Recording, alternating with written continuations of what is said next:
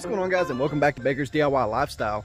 So in today's video, I just want to do a quick recap and kind of show you guys how the yard is looking a week after I put down my Q4 Plus, my fungicide, and sprayed some of that uh, Bermuda in the back with the glyphosate. I just want to go over some of the spots of the yard that really, really look good from getting sprayed and show you guys the results of the spray. And today I'm going to go ahead and start mowing a little bit lower. So I'm going to get down to three inches out here. So I'm going to take the front and the backyard down to three inches while I'm out here today and kind of talk about how to get your yard lower for your overseed. How some people say you have to bag it and how I don't have a bagger. So I just do it in sections and let it die and talk about the steps that we're gonna take right before our aerate and overseed for this year. But I'm walking over here to the edge of the yard, right against the pavement where a lot of crabgrass and weeds and stuff always tend to come in, just because the pavement gets so hot that it burns out the rest of the grass. And the only thing that likes to grow is weeds and crabgrass when it gets that hot right up against the pavement. So I'm gonna flip the camera around and show you guys that. All right, so you can see right here, I definitely missed this patch. It's completely green. But you can see the yellowing out starting to take effect all the way around the outside edge of the yard. So there's another green spot I missed. so this was the section of the yard where the tank started sputtering on me that last half gallon. And as I was spraying this section up here, I was really just kind of shaking the wand trying to get some of the product out.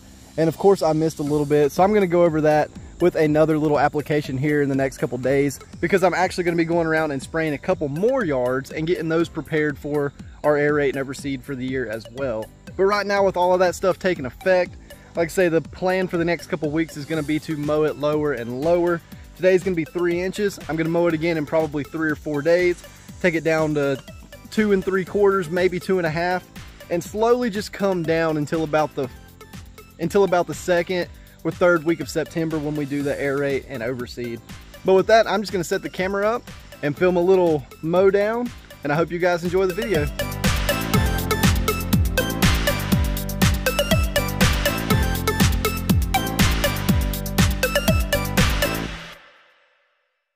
Right guys, so that is it for this scalp down. I started mowing and completely forgot to move the camera to the backyard. So you guys didn't even get to see me mow any of this.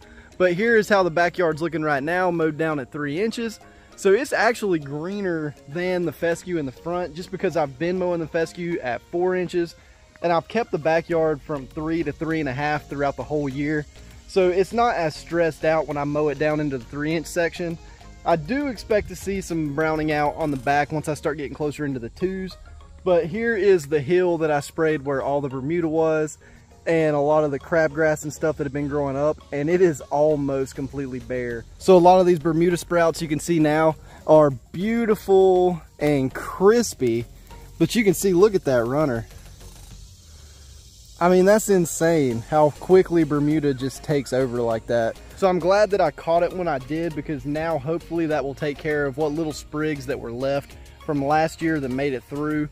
And hopefully I don't have any trouble with it. Like I say, once I get the Kentucky Bluegrass in nice and thick, it will combat that Bermuda and kind of just squish it out where it won't be able to grow. But overall, everything is still looking good. Our time frame is still right on track. So I am super excited right now. The next thing you're gonna see us do most likely is going to be getting a mini excavator to get the little trees in the backyard, those two Japanese maples, and those eastern redbuds. So that's really my next project with the yard so that I can go ahead and level out all the spots where the trees are gonna get removed and then we'll do the aerate and overseed after that. But with that, I hope you guys like this video. And again, if you wanna see the transformation of this yard, please be sure to hit that subscribe button and definitely like the video because it helps spread these videos all across YouTube so that more people can watch them. And with that, I will see you guys in the next video. Thanks for watching.